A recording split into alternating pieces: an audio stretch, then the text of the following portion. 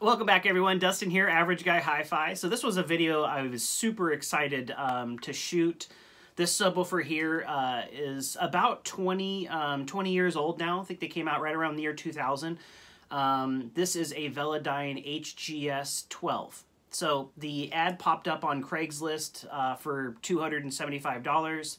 Um, I jumped on it. Um, it was uh, actually advertised as an HGS 10, but when I got there, it was a very dark theater room. It was a beautiful room, by the way. I was drooling when I was there. So, hello, if you're watching this video. You said you would, so you know you are. Um, but when I got there, it turned out it was an HGS 12. So it was like a pleasant surprise, basically. So I told him I didn't want to, you know, rip him off or anything like that and just walk away. I said, hey, this is actually the 12 inch version, not the 10 inch version. But he was still cool with the $275 uh, loaded this guy up. He replaced it with dual 18. So uh, again, if you can kind of, he had his audio rack all pulled out, McIntosh gear was going in it, all of those type of things that I, one day I pray that I can um, get a room that I can dump some money into it like that. But anyway, super nice guy, very good transaction. But I've been enjoying this thing ever since. This has just been a, it's like when you meet meet your heroes. They say never meet your heroes because you'll be disappointed. But um, when I used to drool over this back in the day when I was working at a fish and chips joint or selling golf clubs at a golf store, there's no way I could afford a $2,000 subwoofer. So I would go into the Magnolia Hi-Fi. This is when they were standalone here in Bellevue, and they would always have um, Velodynes, the big Velodynes, hooked up to their big uh, electrostatic Martin Logan speakers, and that was like I still remember those viv- uh, those memories very vividly. So that's obviously what got me going down this crazy hobby that I've been involved in. So, um, but when I got this thing home and I, I turned it on, tested it out, I am just blown away by how deep and quality the bass is for this thing. I've owned some pretty awesome subwoofers, like I've mentioned. The thing that reminds me most of this subwoofer out of all the subwoofers that I would, I've owned would be the um, SVS SB13 Ultra. Uh, I would say that this thing just probably pretty similar. This is no slouch. A lot of people look past um, uh, Velodyne, but you definitely shouldn't. They've been making high quality subwoofers uh, before um, those other brands ever even started. So the plate amplifier on this subwoofer is 1250 watts RMS. It's a 3000 watt peak uh, plate amplifier, just to give you an idea.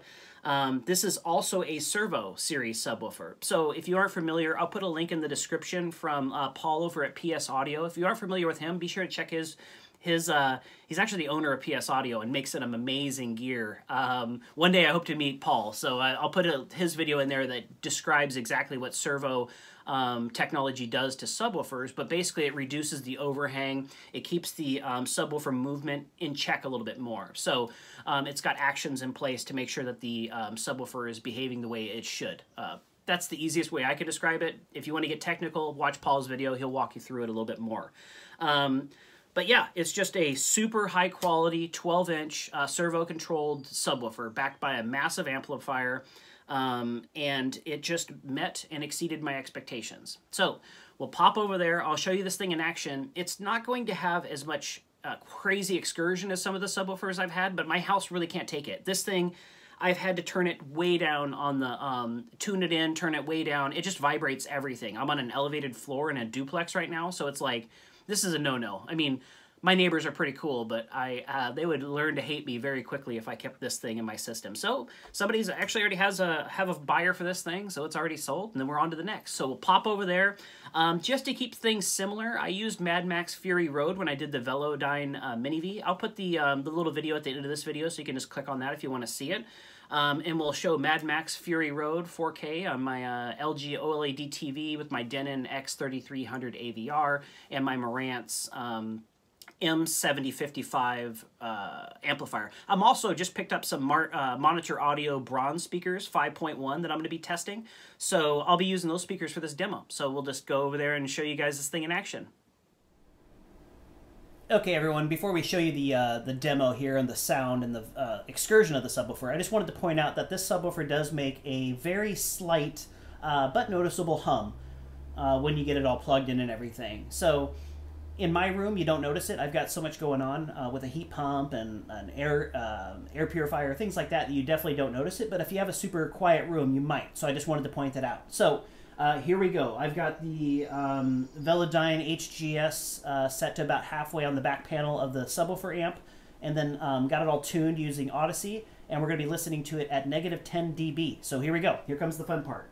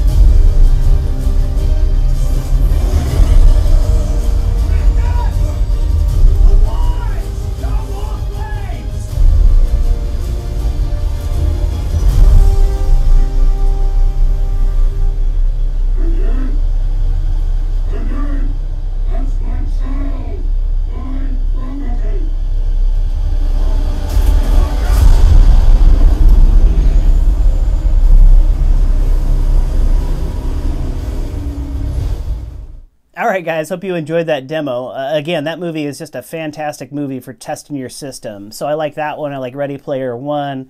Um, I like the original Tron. I'm just praying they come out with uh, Tron in 4K here in the near future. Um, but definitely have that movie in your uh, in your uh, collection if you're used to showing off to some friends or testing a system, because that definitely will do that for you. So, um, before we jump into the Average Guy Hi-Fi review, this is actually a set of speakers that I also picked up here. This is a set of uh, Klipsch R51Ms. So, got a really good deal on these, and this will be coming up here in the near future. I figured it'd be a good um, set of speakers too that a lot of people own out there, and we'll kind of figure out how they stack up against my Klipsch uh, RP600Ms, those monitor audio silver speakers, and a few others that I've got lined up for you guys. So stay tuned for those videos. Um, let's jump right into it. So those of you that watch the channel know this already, but I feel like I need to describe this for the people that are just popping in, doing some research on this particular sub. But there's five categories that I measure off of for the average guy hi-fi score. Each category is worth 10 points, 10 being the best, one being the worst. Um, and then I give you guys the average, which is the average guy hi-fi um, score at the end. So the five categories that we go off uh, are going to be the quality, how the cabinet was constructed, the the woofer itself, the knobs on the on the plate amp, those type of things. Uh, number two is going to be the bass response, most important to many people that watch uh, these type of videos. Um, how that subwoofer performs in my room. So all rooms are different, but I'll just give you guys how it does in my room. Um, the next one is going to be the MSRP value, uh, how the subwoofer stacked up uh, when it was at its MSRP pricing. Uh, the next category is going to be aesthetics. How's this subwoofer look in my room? Is it big and taking over the things, or is it kind of fit in a small place and has good performance?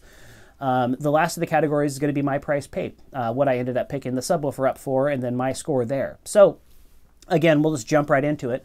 Uh, when it comes to the quality, I gave it a 9 out of 10. Uh, this subwoofer just has very high quality um, woofer, the box, the cabinet. Um, I found some people that opened one up. It looked like it had great bracing. The plate, the amplifier is just a monster. You know, 1250 RMS to 3000 peak. It's just a beastly amplifier. So 9 out of 10 when it comes to quality. Uh, the bass response, I also gave it a 9 out of 10, which is hard to do with my scoring system. Um, that subwoofer puts out a ton of deep, articulate bass. My room was pressurized easy.